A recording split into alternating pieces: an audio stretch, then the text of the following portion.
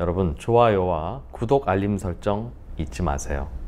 자 그러면 과거는 잊고 어, 네. 미래로 가겠습니다. 오늘 뉴스 3 하나하나 살펴보도록 하죠. 먼저 아시아나가 네. 아, 드디어 이제 인수합병 뭐 되는 뭐 잘 되는 분위기 아니겠습니까? 이 정도면 사는이 지금 1조 깎고 준다고. 이게 어제 파격 저 제안을. 네. KD 산업은행의 이동걸 회장하고 HDC 그룹이죠 현대산업개발의 정몽규 회장이 전격적으로 만났다는 거예요 한 시간 동안. 네. 그래서 이제 이제 내가 볼 때는 산업은행에서 만나자고 했던 것 같아요. 왜냐하면 이제 아 이제 급하게 된 거지. 네. 왜냐하면 저쪽에 살 사람은 한 군데밖에 없는데 음. 자꾸 할 것 같으면서도 안 한다 그러고 자꾸 왔다 갔다 하니까 그래서 이제 이대로 가다가 이게 큰일 나겠다 싶어가지고 왜냐하면 이제 이게 아시아나 항공이 그냥 일개 항공사이긴 하지만 또 그 뒷면에 뭐가 있냐면요 엄청난 채권이 있단 말이에요. 특별히 뭐가 있냐면 네.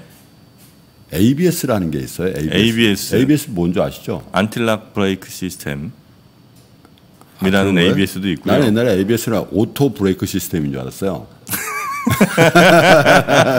아 그래요?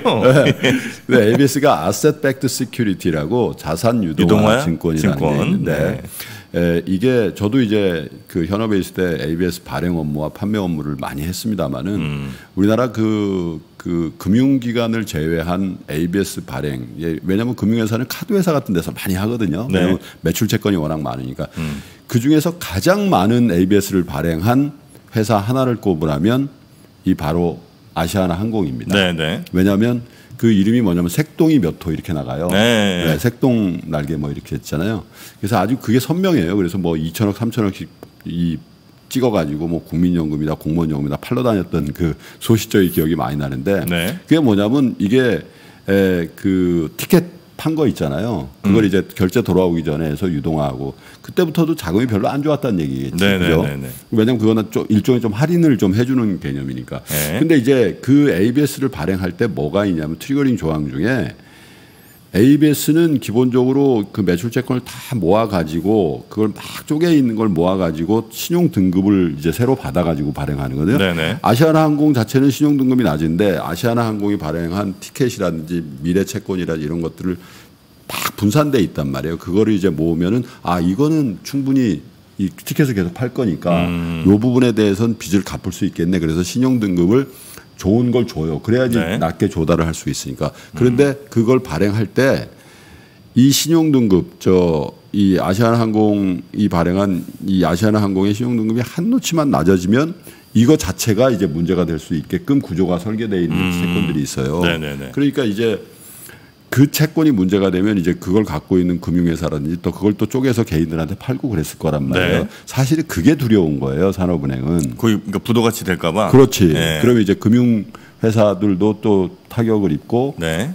또뭐 사모펀드다 라임이다 뭐 막 터지고 있는데 그걸로 인해서 또 개인들이 투자 손실을 볼 수도 있는 상황이 될 수도 있잖아요. 그래서 이제 제가 볼 때는 이패이 구도상에 보면 에, 정부 측이라고 할 수 있는 산업은행이 불리한 게임이란 말이에요. 네. 그 HDC 말고 살 데가 없는데 그래서 이제 에, 이동걸 회장이 제안을 한 게 그러지 말고 니네 2조 5천억 내려 그랬지 그러지 말고 우리 1조 5천억씩 같이 내자. 그래서 같이 회사를 만들어 가지고 그 대신 경영은 네가 해주게 할게. 네. 그러면 산업은행 아저 그 현대산업개발 입장에서는 뭐예요? 2조 5천억 안 들이고 예? 1조 5천억만 내도 현실적으로는 네네. 에, 경영을 할 수 있으니까 1조를 깎아줄게 이렇게 된 거지만 네. 사실 정확한 의미는 이 깎아준다는 개념보다는 인수 대금을 조금 같이? 깎아서 예, 네. 깎아서 하되 물론 이제 지분 정리라든 이런 것도 좀 해야 되겠습니다만 이제 그렇게 음. 얘기를 한 겁니다. 거기에다가 쥐고 아마 이 뉴스 신문 보도를 보니까 아 그래서 정몽규 회장이죠 HDC 그룹에 아유 감사합니다 이렇게 한 것 같지는 않아요. 한번 생각해 볼게요. 하고 헤어지는 그래요? 것 같아요.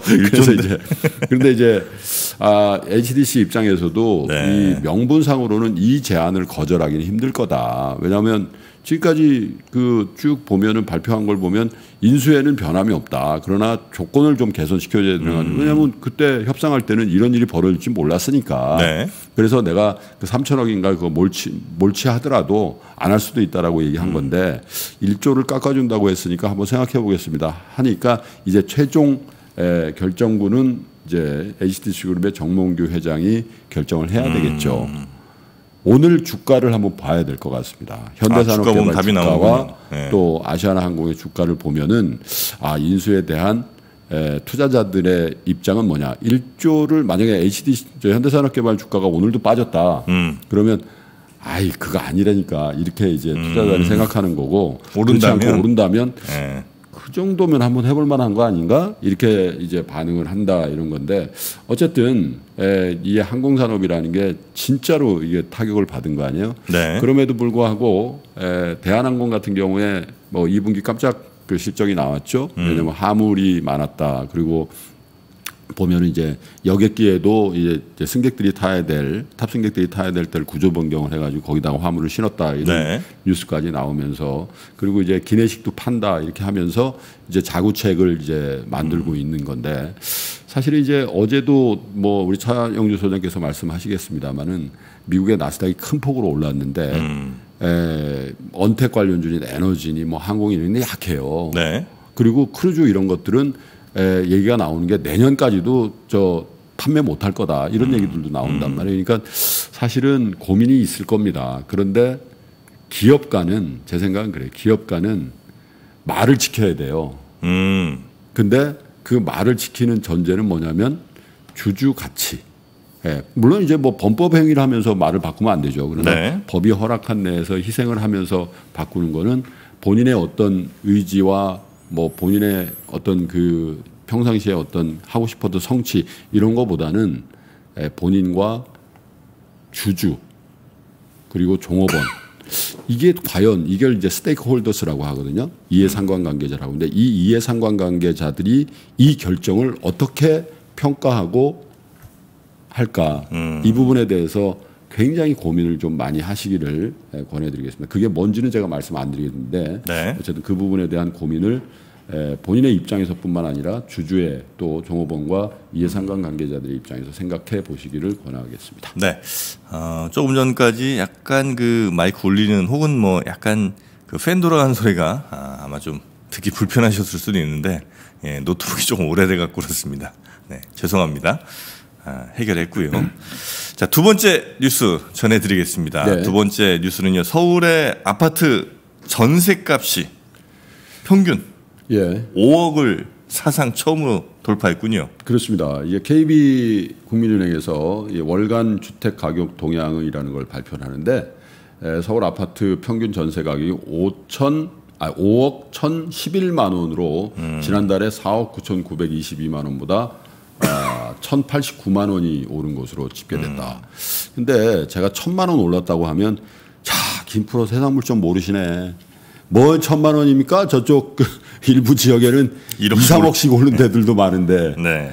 근데 이제 평균이라는 거죠. 평균. 이라는 거고. 그래서 이게 왜 이번 달 에, 지난달 통계가 더 민감하냐면은 네. 에, 임대차 3법이 이제 에, 시행이 되잖아요. 음. 이제 그런 것 때문에 그 중에 이제 뭐 일부는 이제 그 시행이 되고 일부는 이제 시행될 걸 기다리고 있습니다만은 에, 집 주인들이 에, 전세 가격을 미리 높이는 거 아니냐 뭐 이런 우려들이 있는 거죠. 네. 그런데 사실은 이제 그런 거예요. 이 전세가 이러다 없어지는 거 아닌가 이런 이제 우려들도 분명히 있고 또 일견 타당한 우려일 수도 있는데 사실은 그 전세 보증금이라는 게 만약에 그 정프로도 전세를 사시잖아요 지금. 네, 네. 근데 집주인분에게 든몇 억이란 돈이라는 건 사실은 집주인한테 이 사는 걸 전제로 해서 사금융을 준 거거든.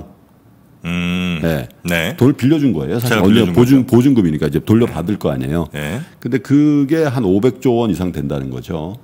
500조 원. 예, 그러면 이 전세가 갑자기 없어지려면 그 500조 원을 어딘가서 어딘가에서 만들어서 나가세요 이렇게 해야 될 거 아니에요. 네. 그렇기 때문에 사실상 단기간에 전세가 없어지기는 어렵겠죠. 음. 그 500조 원을 금융회사들이 빌려줘야 될 텐데 지금 LTV DTI라든지 규제가 워낙 강하게 돼 있으니까 그리고 사실은 장기적으로 보면 과연 이 전세 제도가 전 세계에서 우리나라만 있단 말이에요. 네. 그죠?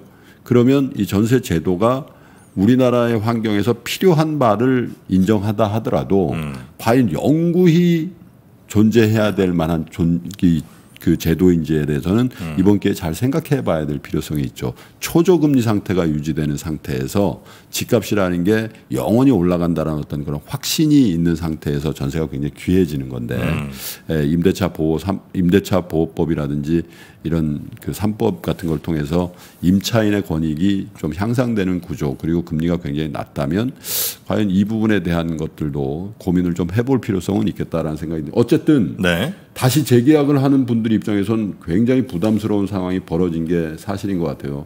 얼마 전에 에, 업계 선배님을 만났는데 그 따님을 결혼시킨다고 그 이제 사위분하고 이렇게 전세집을 알아보는데 결국은 서울에서 못 구해서 네. 에, 저 수도권의 어느, 지방으로 간다 뭐 이런 얘기를 하시면 굉장히 씁쓸한 표정을 지, 지으시던데 네. 그만큼 많이 올랐다는 거예요. 그래서 에, 정부에서는 사실 이런 통계만 의지하지 마시고 네. 또 집값이 올랐냐 안 올랐냐 이거 에, 이게 맞냐 저게 맞냐 하지 마시고 진짜 이 젊은 분들 혹은 에, 집이 없는 분들이 에, 이 전세 부담 때문에 에, 이사를 가야 되고 또 집을 못 구하고 또 이 학령 인구를 가진 학령 아이들을 가진 이제 정- 정프로도 이제 곧 그렇게 됩니다만 네.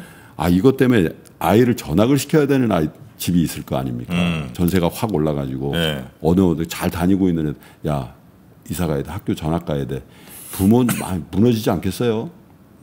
네, 그래서 그런 부분들 네. 잘 체크를 좀 해주시길 바라겠습니다. 어쨌든 천만 원 오른 건 아닌 것 같습니다. 제가 보기에. 아, 평균 천이니까 예. 뭐 종합 지수가 1% 올랐다고 주식들이 1% 오르는 건 아니니까. 그러니까요. 네. 자, 그리고 오늘 세 번째 뉴스는 아, 파월 의장 소식이군요. 잭슨홀에서 뭐 얘기합니까? 예, 이제 뭐 어제 미국 증시도 많이 올랐고요. 유럽 증시도 많이 올랐는데 잭슨홀 미팅에서 사실 잭슨홀 미팅에서 뭐 여러 여러분들이 얘기를 합니다만은 그 다른 건 뭐 큰 의미가 없고 이 제롬 파월 의장이 화상으로 무슨 얘기를 할 것인지 이제 그건데 사실 이제 그 전초전의 성격으로 기자들을 만난 사람이 한 명 있는데 이 잭슨홀 미팅을 주관하는 게 어디냐면 캔사스시티의 연방준비은행입니다.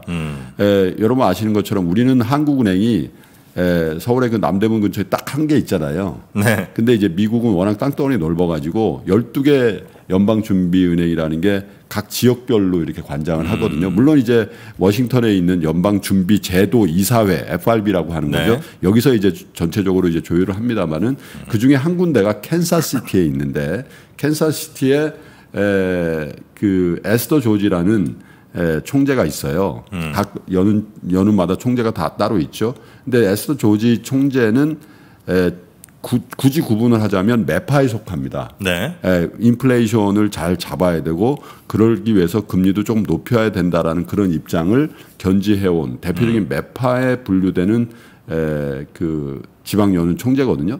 근데 이분이 이제 그 얼마 전에 이제 에, 이제 제롬 파월 의장 전에 이제 기자들을 만났는데 뭐라 그러냐면 물가 안정 의무가 굉장히 중요하다. 그러나 2%, 2% 인플레이션 한계를 굳이 집착해야 될 필요는 아니다. 이 얘기가 굉장히 중요합니다. 왜냐하면 2%에 집착하진 않는다. 그렇죠. 예. 에, 저 미국 연준의 연준의 물가 targeting 그러니까 forward guidance라고 하는데 그게 뭐냐면 2%를 넘지 않게 또 2%에 근접하게 물가를 관리한다라는 거거든요. 네. 근데 지금 이 잭슨홀 미팅에서 제롬 파월 연준 의장의 입에서 뭐가 나올 뭘 기대하기 때문에 어제 주가가 올랐냐면요. 평균적으로 물가를 관리한다.